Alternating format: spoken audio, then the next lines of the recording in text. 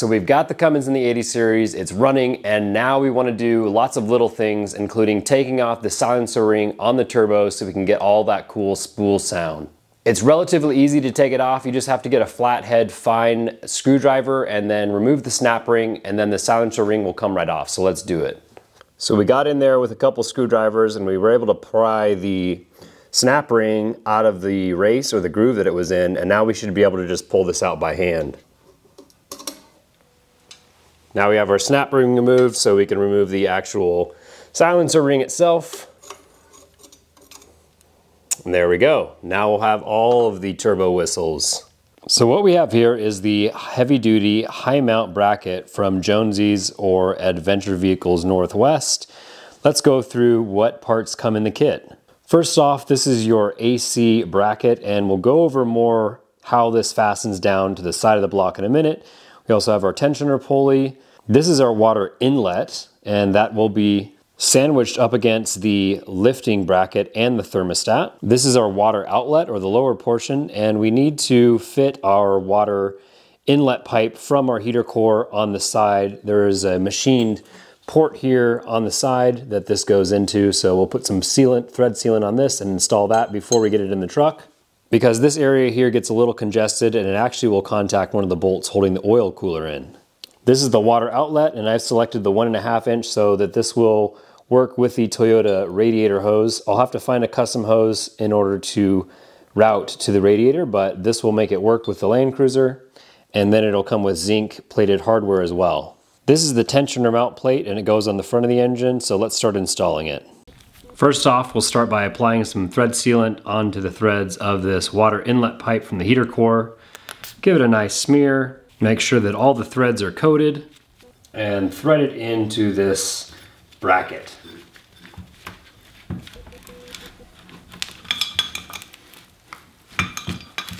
All right, so we've got our water inlet installed onto this bracket here, so we're ready to install this piece.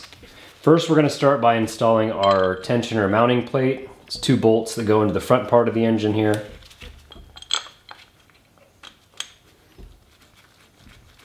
And then we can install our tensioner pulley. This is indexed, so there is a little hole for the index pin on this tensioner pulley to fit into. And then on the back side, it's threaded so that the bolt can go through.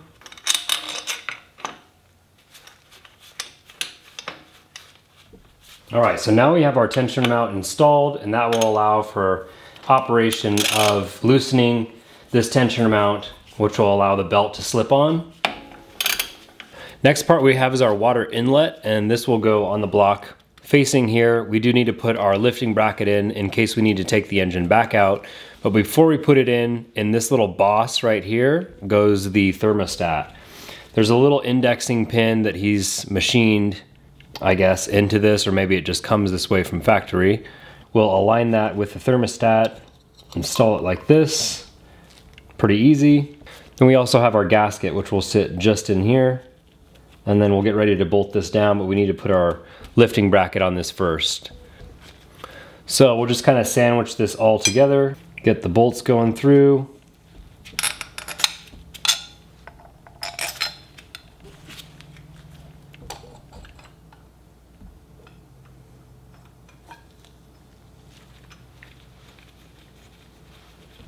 and get this bottom bolt, which is a little bit shorter. We'll snug all these up.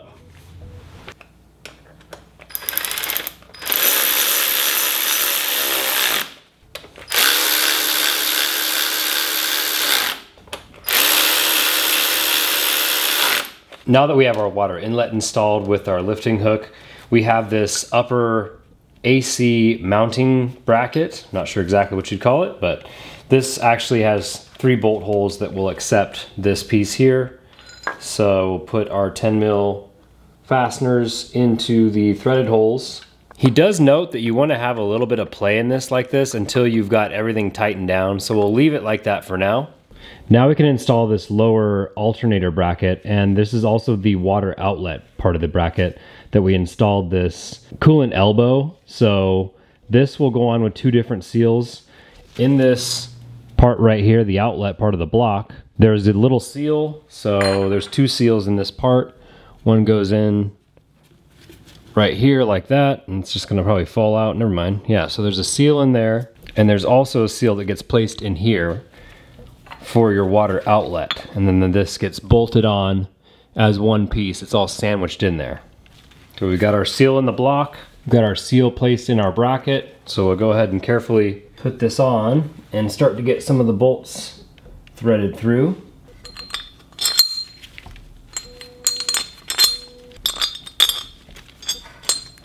All right, we've got our bolts installed so we can go ahead and start putting this up to the block.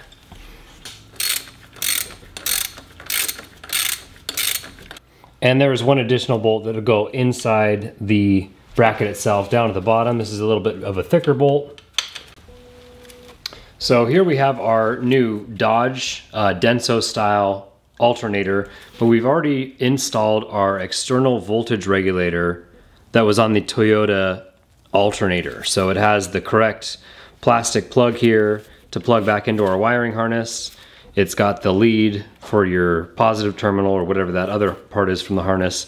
Basically, it's a bunch of little uh, Phillips head fasteners that secure this kind of Millennium Falcon thing on the back of the alternator. This one actually, it has the brushes in it from the original uh, Toyota engine and they're kind of bad. I'm gonna take them out and install a new one that I got for, it's like 15 bucks so that we don't have to worry about charging issues in the future. So it's just two little Phillips heads to take that off.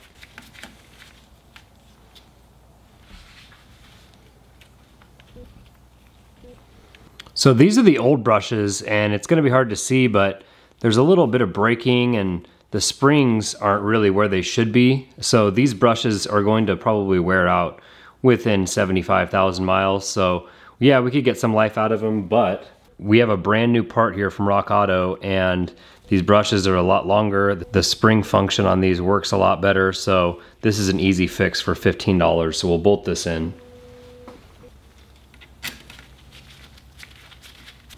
All right, so the new brush is installed. Now we can install the back housing, but we'll go ahead and clean this up a little bit with some brake clean to get it looking nice.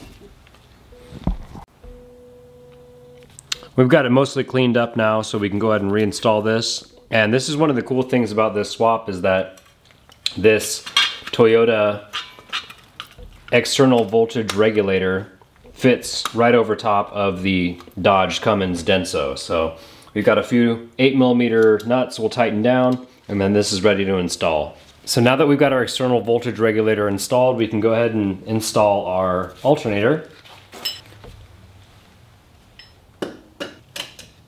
Just like so. And there's a longer bolt which will go through this hole here with a nut on the back side.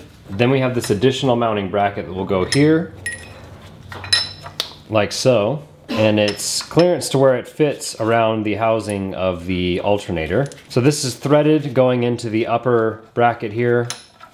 So we'll just loosely fit this bolt in, and then this will have a nut on the end of this bolt, which will pass through the housing of the alternator and this bracket itself. And we'll just loosely put that in. So everything's still pretty loose right now, which is what we want before we get our belt put on so we can check for everything and make sure that it's seated. So now we've got our AC compressor. Um, one thing that I noticed in the kit, the bolts were a little bit too long. So I went and got like five or 10 mil shorter this could be something that was my issue with purchasing this particular AC compressor, or it could have just been a maybe a slight oversight on Adventure Vehicles Northwest. I always just assume that I'm wrong, so I'm gonna assume that I'm wrong, and maybe it's a different uh, AC compressor. So we'll get a couple of these bolts threaded through,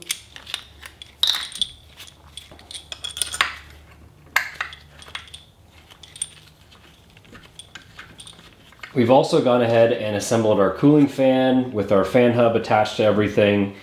We actually want to clean that up, but in order to do that, we have to have it attached to the serpentine belt so that we can take it off easily because I don't have a means in order to get the uh, reverse thread bolt off. So now that that's tightened down, we can look at putting the belt on.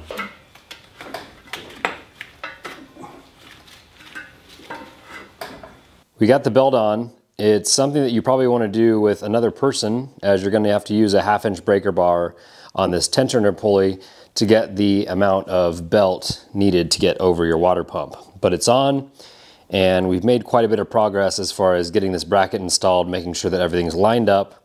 And I think it looks really good. It's really clean. This is a nice option if you're doing any swap really, but particularly with this 80 series. It kind of cleans up this whole area and allows for the plumbing of the intercooler and the water outlet pipe, which is a one and a half inch. So it'll plumb right into the Toyota radiator, which is nice. We do have to get a 1.75 or possibly 2 inch hose from this water inlet pipe and it's going to be a 90 here crossing over. We're going to have to see if we have interference with our oil fill tube and then it'll be a one and a half inch coming to the Toyota radiator. So this is a coupler coming from 1.75 inches to 1.5 inches and this will make those different sizes work. Probably a good idea to buy two of these in case it fails for whatever reason, you'll be left on the track. So I've made quite a bit of progress with the wiring harness. It's one of those things you just gotta take your time with. Obviously you want all of your power to go to places that needs power. So I'll go ahead and B-roll this so we can get a close up. You're left with these two wires going into your cab. They're two white connectors. I believe this is going to be for our one of our coolant temp sensors, only this one. And then this one will have the detent for the transfer case, as well as the starter and everything else. I've wrapped it in some friction tape and kind of left the leads where I can Y them to wherever they need to go in the engine bay once we get it all put in. But we are successful in wiring this. We are now turnkey to where you turn the key on and you have your fuel injection plunger going up from the fuel shutoff solenoid. We took a hot wire coming from the ignition coil that would have gone on the igniter for the 1FZ for your spark plugs. I noticed that when I turned the key to the on position with a voltmeter, I was able to get 12 volts. So we just extended that wire back around the injection pump and now we have 12 volts going to the injection pump with the key on. And then we also have our starter wire extended from the back of this wire here, which I ended up cutting too short and had to solder it. This thicker wire right here is the wire for your park neutral safety switch, which goes into your Toyota transmission. And then there's a hot wire coming from it when it knows that the transmission's in neutral or park and it goes to your starter. So it won't allow it to start if you're not in park or neutral. We ended up just running a hot wire from this park and neutral safety switch on the back of the connector right into a spade connector and this will go to the starter solenoid. So, a lot of success. We are able to turn the engine on and off with the key, which is exactly what we wanted. Other sensors I've left intact with the harness is this AC shutoff solenoid. I believe this is what this is. And like I was mentioning earlier, we got a new connector for our water temp sensor and I believe this will be for your dash. This is the large detent connector that is going to go to the transfer case for your vehicle speed sensor, etc. There is a ground here and I'm not sure if this is necessary 100%. I ended up trimming a lot of the wires for the ECU and I'm left with really only two and I'm not sure, I'm not clear whether or not I will need this ground, but we'll find that out soon. It wouldn't start with this before, but I've ground the chassis to the block and the block to the battery, so we should be good there. Finally, this is one yellow red wire that goes to somewhere around the alternator wiring. I'm not sure exactly what this is, but it is necessary to start. Now, in the engine bay, what we have with our alternator installed and we cleaned up the back part of the housing, are these signal wires coming from the harness on the battery side. There's three of them. So I've extended them to go around the radiator once it's in. I gave myself enough slack so that we can plumb it in nicely. And then also your charge wire. We went with some four gauge wire, heat shrank this so that it won't get hot and fray. That's going to the positive charge on your alternator. So that's all connected. Still left with trying to figure out AC and all that. We're gonna have to get some custom hoses made, but that's for a later time. I believe this electrical connector went to your AC unit in the Toyota, but we no longer have that, obviously, and we have a Dodge compressor, so I forget how that works. We'll have to cross that bridge when we get there. Again, the wiring coming over top of the radiator once it's in. And we have a positive wire going into our harness here. So this is part of the harness that stays in the chassis. This is that electrical connector I was mentioning for the alternator, I believe. It's coming from the ECU area with the rest of the harness. We have our block and chassis ground. So one ground here is going into the battery here. We have all of our fusible links and everything that comes on the positive ends of the Toyota harness in the engine bay. And then this is the hot wire that would have been from the igniter wrapped around the injection pump going into the back of the fuel shutoff solenoid here. We've got one large wire, and this is like 2-aught, I think, going down to the starter, and that will be thick enough to start the vehicle and not have issues with burning up wire. Underneath here, and I should have installed this when it was out of the truck, is your AC shutoff solenoid. And then back here in this little brass fitting adapter is your water temp for your gauge. We were having issues with the oil pan clearing the track bar or the tie rod end. So what we've done is installed a 30 millimeter spacer on each side. In order to do this, you want to have a bottle jack underneath the frame on both sides and then employ two different jacks to lower the axle left, right, left, right until the axle is fully drooped. You do need to loosen this panhard bar bolt in order to get your panhard bar out because the whole axle assembly is going to want to sway left to right if you keep it in as you lift the truck. I also wanted to install those coil spacers because the extra weight of the Cummins is pushing down the stock springs that are 30 years old quite a bit. So we have quite a gap from our hub defender clearance right now, but this will end up working out for us positively in the long run as the springs begin to accept the weight of the Cummins. Issues we're still facing is the clearance between this intercooler piping here and the brake master cylinder. So that's just not gonna work. That's not enough room for me. Granted, the whole engine is falling back right now without the transmission attached, so it will level out. I still don't like that amount of clearance. So we are gonna go with the intercooler piping kit from Dustin. It's expensive, but it's the way to do it. It's the right way to do it. So instead of having this, it's going to come off and come back a little bit, go down through here, and then attach to the motor mount, go underneath the engine, and then just like in the white 80 series, we're going to cut holes here and here with a template, weld in some pipe for our intercooler piping, and then our intercooler will sit right here and be attached through the two pipes in here with rubber boots, and then come up to our turbo right here. Right now the engine's running rough because it's really rich. We're not getting enough air because our turbo's not hooked up. So once the intercooler piping is in, along with our silencer ring off, we'll have nice turbo sounds, the engine will be running cool, and we'll be getting boost. We've got our EGT sensor plumbed in and our wiring is going to be routed with the wiring harness on the back part of the firewall. Once we get our heater valve in and everything plumbed in, we'll zip tie everything, make it look like a million bucks. But for now, we're just going to mock everything up first. We gotta get the intercooler piping done as well as the exhaust. We're just gonna order an exhaust from Dustin. He makes an exhaust specifically for the 80 series. Cummins build. So those are a few parts that we'll have in a few weeks here, as well as a rebuilt transmission. So we're spending a lot of money on this and it's starting to add up, but this is going to be a super clean build in a few weeks here. This is actually a really exciting stage of the build where it's mostly done. The engine's been built, it's in, we've got all our plumbing and our wiring, it's started, but there's quite a bit of little things we need to patch up. So I'm trying to upload once a week to keep you guys all informed on what I'm doing. A lot of it's trial and error, making sure that things fit, like the intercooler piping. I tried to cheat and go the cheap way and try and fabricate my own intercooler piping, but would have had to gone through the fenders and I just don't like the way that would look. We're gonna do this right and make it look super clean. As always, if you have any questions, leave them in the comments below. Thank you all for watching and we'll see you in the next one.